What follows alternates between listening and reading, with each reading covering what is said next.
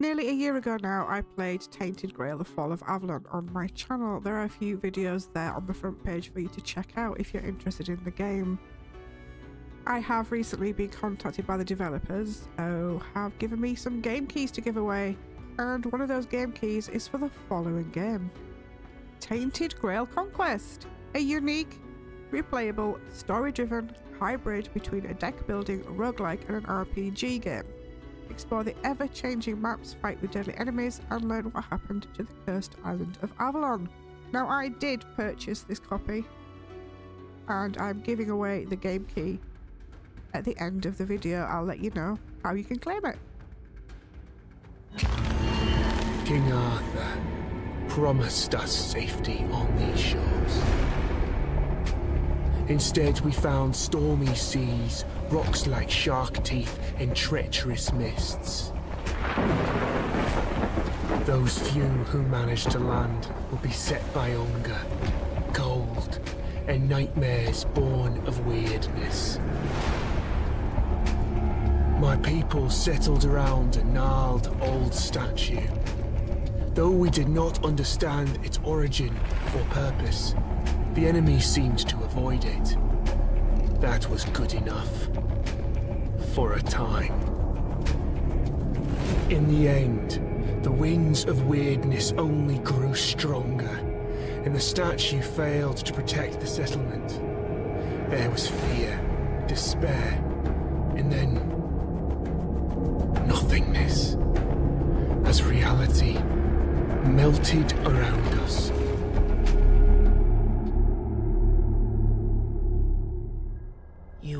Okay, well, I'm going to be honest. I'm not a huge fan of roguelike games.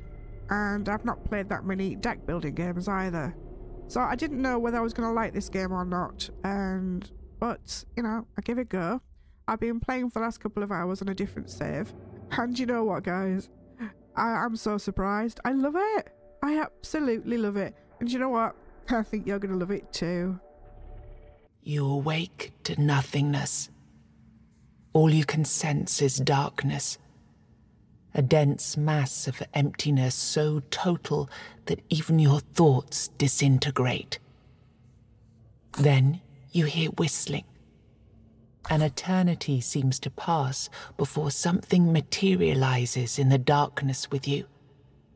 Something angry. Damn it, you weren't supposed to land here. Damn it all to hell.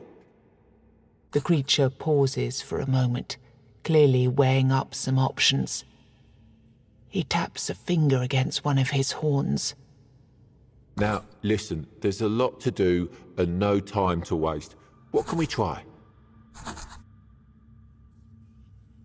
Perfect. You can speak, and yes, these are really great questions. No easy answers, though. Sorry to disappoint. Now, listen closely. Are you ready? Brace yourself, because what I'm going to tell you is rather important. You're gone. Your village is gone. Everything you've ever known is gone. Yes, everything and everyone including your very own self, as I mentioned already. However, The creature taps two hooves together, marking a dramatic pause. there is a small chance, an infinitesimally tiny chance, really, to bring it all back. You were saved from death in order to keep your reality from falling apart. But, well, it's not going to be easy. First, we must ensure that you're in good enough condition to actually do anything. Which brings us to the problematic part your body. You squint down at your feet and hands in the darkness. They seem perfectly fine. Oh no. Oh, goodness me, no. That's just an illusion. I had to get you here somehow, didn't I? Otherwise, you'd start talking about the afterlife and whatnot. And this, my friend, is not an afterlife. This is a total mess. But let's see what we can do. Here, this little trick should get us started at least. Now, if like me, when you're playing the game, you come across some issues on this particular screen where the, the screen would just freeze and you couldn't do anything else but just, you know, like Control Alt Delete out of the game. There is a little fix for it, and all you have to do is go back into the options and uncheck the box to show the uh, intro video or the cinematic. And that fixes it, but you do have to reboot your system, guys. When you first play the game, you are locked into just playing the Weird Hunter. I love that name, Weird Hunter. But all the rest of the characters, such as the Apostate, the Sentinel, the Zealot, etc., will become unlocked as you progress in the game. And it doesn't take that long. It wasn't that long until I was able to um, unlock the Summoner. And then I think it was the, Sent Zealot next? One of them, anyways. One of that shoots a bow. so don't worry, it doesn't take that long. Every different class will have an ultimate ability and a passive skill. Um, for this one, every hit you deal leaves a hunter's mark. For hunter's mark, make an enemy vulnerable. Well, it seems your soul isn't strong enough to be picky about its vessel yet. Don't worry, you'll grow. Now, we need to see whether my little trick actually worked. The goat weaves his fingers in an intricate series of gestures. With a final flourish, he conjures a terrifying creature into the emptiness. Aha, here we go. This is a powerful Avalonian warlock.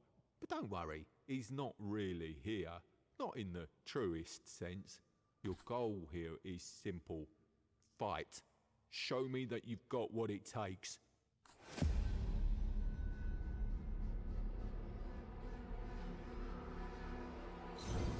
And this is where you get led into an intro.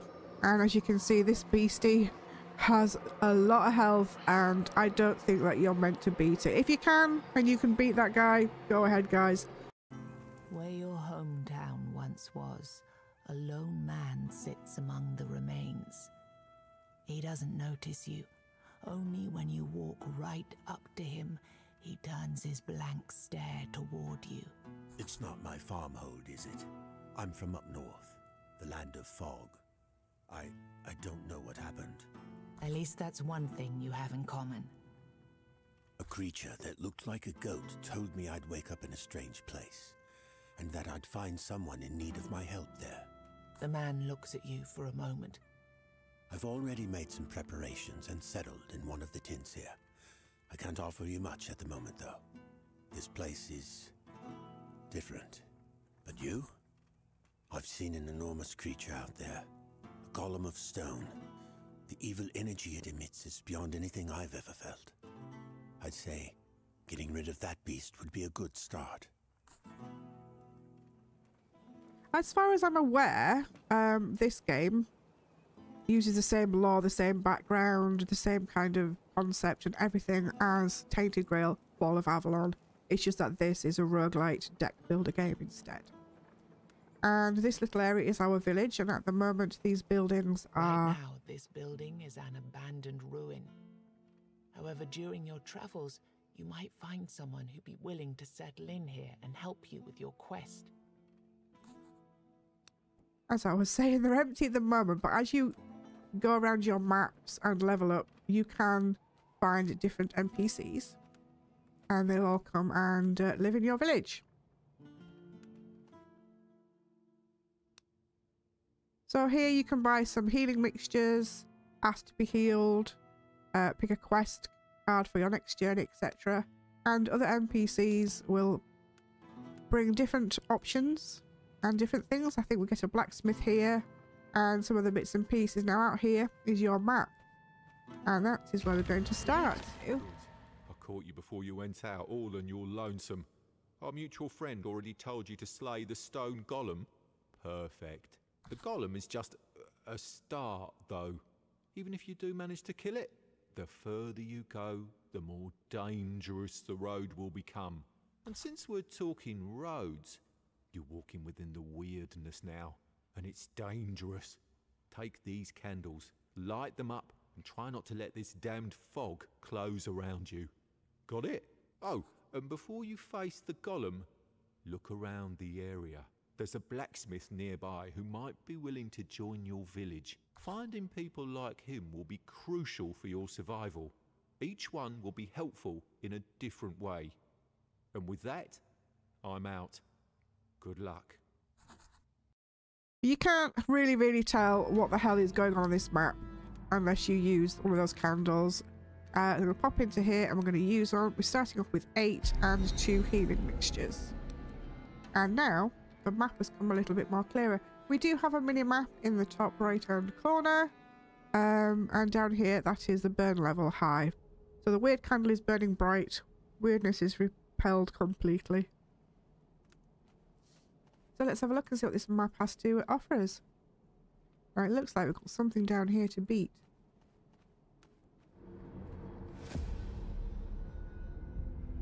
Okay, to do our first battle. Still got the three energy down the right hand side there, so I'm going to start off with a block. One block protects only from one hit. If there's more than one enemy or the enemy is going to do two hits, you can normally tell here. Up the top. The enemy is preparing for a special attack, so he might be doing a double attack. Let's see if he does. The overhead swing will hit for 4 to 6, reduce enemy's armor by 10 until the end of combat, so I do that next, and then I would do the attack. Let's see what happens. Oh, hello. You got a weird card. Forces of weirdness, insert them into your hand. Their effects depend on your weird candle's burn level. Use it or be ready for the consequences of not playing it. So with these cards, guys, they have different effects on them. And as you see with this one, we can reduce the damage of all enemies by 20% this turn. But if we don't use it this turn, it's going to increase random cards cost by one. Um, I think I'm going to use it because reducing the damage of enemies by 20% sounds good to me. Now again, I'm going to block. And I've got one left, so I'm going to attack again. As you can see here, his base damage and armor are going down. He's preparing for a special attack. And he's an infected human. This enemy's shape and the pulsation of its body suggests that you should be prepared for an explosive surprise. Okay, so got something different there. Enemy intends to attack everyone on the battlefield and bluff. Um, in that case then, I'm going to stun you, matey boy. I'm going to attack you. Oh! He pooped! and he's left behind a flesh-eating magnet. Lovely. Uh, we're going to block that one. We've got two left. So I can do the overhead swing to reduce the armor and the attack. Uh, broad reach is a good one. The next hit does 100% damage. And get another attack in. And we should finish that one. And as you can see there, our level has gone up. We've got some XP points. And we get to pick a new card. Ooh. Deal one hit for 100% damage. Reduce the enemy's armor by 20 until the end of combat. Stun all enemies with no or negative armor or block the next hit of a chosen enemy. I like that one. And pick a new passive skill. Slow Thinker. Whenever you play two or less cards in a turn, your first hit the next turn deals 400 damage. Increase your armor by 25 sounds better to me. Or at the start of each turn, gain two ultimate. I'm going to go for the armor. Now I can see an exclamation mark on the map, so I'm going to try and head over there to see what that is all about. And have a look see. The old weird candle is burning out. Better use another one. Oh, too late. Damn. Okay, we straight in with one of those. Gain 10% damage this turn. If not played, next turn lose 50 armor. Oh, I'm going to play that then. now I'm going to um, block. Now then. Enemies preparing for a special attack. We've seen this enemy before, but we haven't seen this one. He's a sleeper and he wakes up after absorbing blood of its fallen ally. Better let it sleep in its petrified shell. So we're going to attack this one. I'm going to go in with the overhead swing. We're out of moves. Um, I'm going to block again. Next hit does 100%. Nice. Uh, block again. Awesome. Overhead again. On attack. Oh, and now he's working up. Okay, so we're going to block. Deal one hit for 8 to 12. Reduce enemy's armor by 20 until the end of combat. Let's do that. And this one, small strikes, is mainly for random enemies, like more than one enemy on the map, but we're going to use it here as well. Ew, we got another one. One block protects only from one hit. Remember to pay attention to enemy intents. Yeah, I forgot about that. Reduce armor of all enemies by 10 or draw two cards less. I'm going to use it. Um, intends to use a normal attack, a strong attack, and a buff. But we're going to stun that little fella there.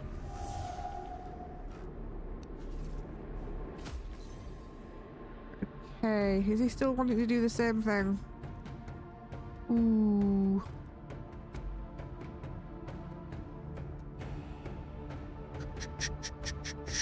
Shield break.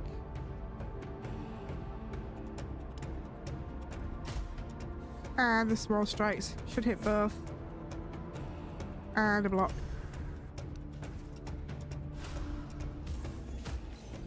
It's only blocking from the one. We do have a choice if we wanted to use two and block both of them. Um, have a look see. I'm going to use that on that one. Oh, nice. Use that on that one. And that should take out that one.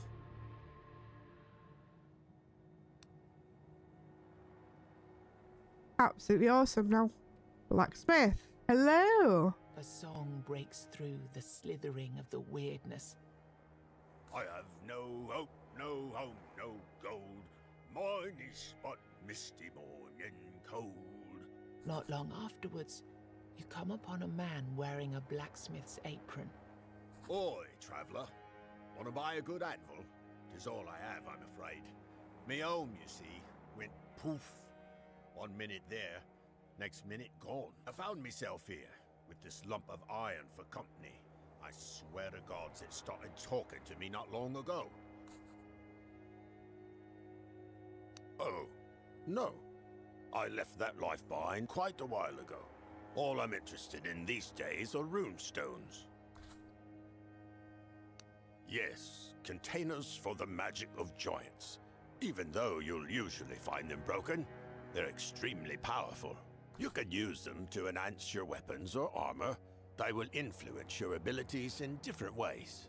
Also, when you find three of the same kind and rarity, you'll be able to fuse them together. This will make them even more powerful. Here, let me give you some. You can try it later. I'd say that since you know what you're looking for, you should be able to find more of them out there. By the way,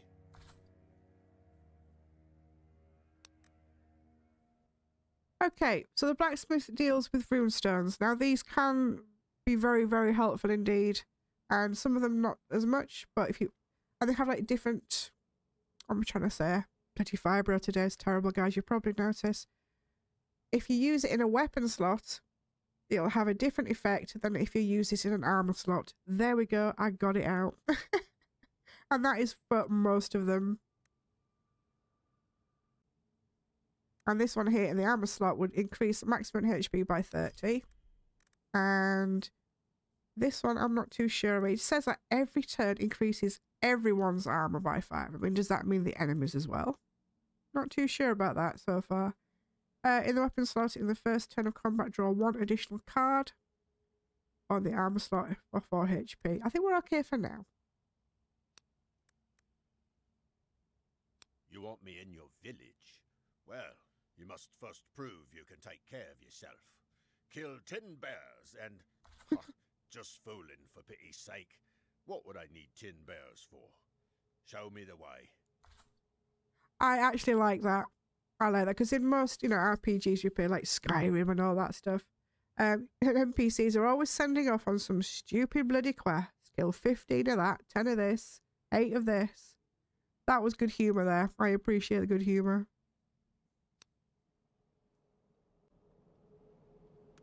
Now, each time that you die and get resurrected, you start back at the village, and each time you come onto the map, it's totally different. You'll have different things on the map, um, different encounters. Oh, oh, hey, look, this is, uh, I don't know what this one is. There's lots of different things. That looks like a good kind of a legendary encounter. Oh, this could be one of our golems. We won't be able to win it, guys, but I'll give you a look anyway. Yes, it is. It's our awakened golem, and I can look at his bloody health. There's no chance that we can do this. We've literally just started the game. But what I'm going to do is I'm going to quickly speed it up, and my character's going to die, and I'll show you what happens.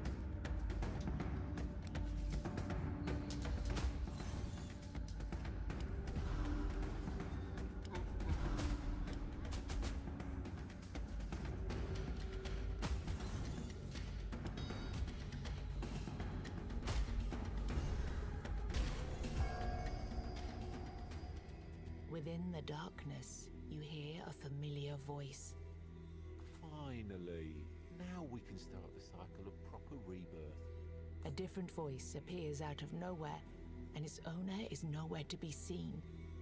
Be gone. It is calm, inhumanly calm. Can I invite you to the table? You see a hooded figure waiting for you by the table. A chessboard sits upon it, the game in progress. As you take the free chair, you realize the creature has no face. A white skull leers from the shadows of the hood, a human skeleton draped with robes. I admit, I'm not used to showing up in person whenever people die. That's too much hassle with adjusting my presence to your current imaginations and whatnot. But let's say that your case is special. Yes. Yes to that other question, too. You're technically dead, but there are certain things that prevent you from, let's say, being properly gone. Recent events had consequences going beyond the intentions that sparked them. And now we're stuck in this unfortunate predicament because time, as you know it, is irreversibly corrupted. Past and the future are happening at the same time. All that you see is an echo of things that already happened or eventually will. Presented without inherent sense, without purpose, without any logic. You see four figures on the board changing shapes into forms of beasts, and a moment later, they dissolve into dust. You must slay the Guardians and keep slaying them until you reach the source conjuring them out of the weirdness. Their deaths will make you stronger. This will lead you to your destination.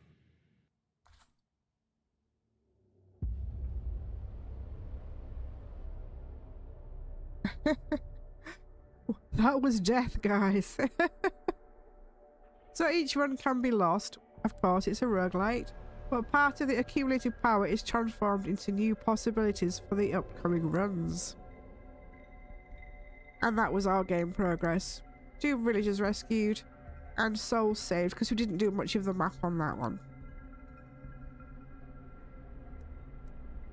We discovered some passives, there's a bestiary, there's factions, there's NPCs, there's all sorts of information you can find on there. And this is where we do the roguelite part of it and we would start over again. And you get to choose a bless and start with 200 wealth.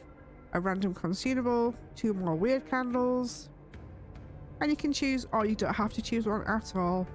And this, if you've unlocked any of the characters, is where you would start again with a different uh, class, not character, class. And as you can see now, even though we've started again, we have a blacksmith. And there he is. We have unlocked the blacksmith. That's kind of cool. Anyway, guys, I'm going to leave it here for today. Um, I've given you a very good overview of what the game is about. I don't want to spoil too much of the lore, too much of the story. The voice acting is superb. Um, everything I like about it, I just, I just love it. I like everything about it. I can't even speak today. I apologize, guys, but my fibro is kicking my ass. And it has been doing for the last week. But I'm trying my best. So, do you want to get your hands on the game key for this game? If you do, leave a comment down below. You must be subscribed, like the video, leave me a comment telling me why you want the game. And that's all you have to do.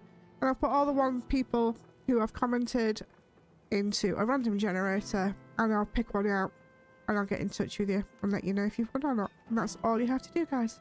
We have one game key. Thanks very much to the devs. If you're like me, guys, and you absolutely adore the soundtrack to both the games, Tainted Grail and Fall of Avalon, you can get some of the music for the Conquest game over on Bandcamp, and it's only 7 euros. Or if you wish to, pay a little bit more. I did. It's well worth it, guys.